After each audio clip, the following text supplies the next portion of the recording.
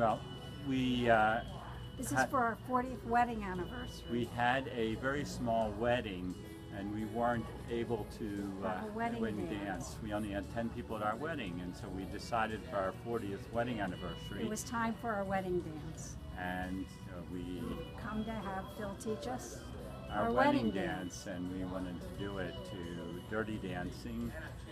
It's the time of my life, we wanted. And, and we're going to do the whole thing, and Bob is going to lift me up, and Phil's helping with that. So we're doing it all.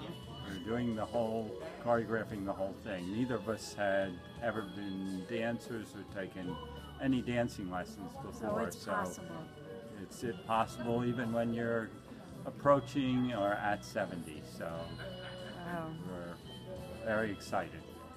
And you're doing a great job, guys. Great job.